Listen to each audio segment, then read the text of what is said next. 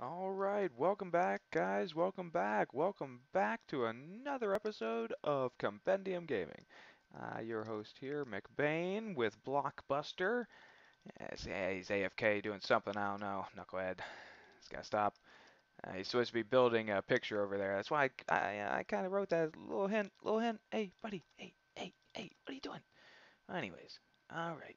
Just uh, wanted to show you a little bit of what we've been doing here. We've got the temple going. We're uh, all, almost getting it. Uh, it's almost complete, but oh, yeah, crazy. Uh, it's like the old screensaver in the 90s. Anyways, over here we got the beginning of the Indiana Jaw, Montana Gym, I mean, Montana Gym, and the Temple of Bad Timing.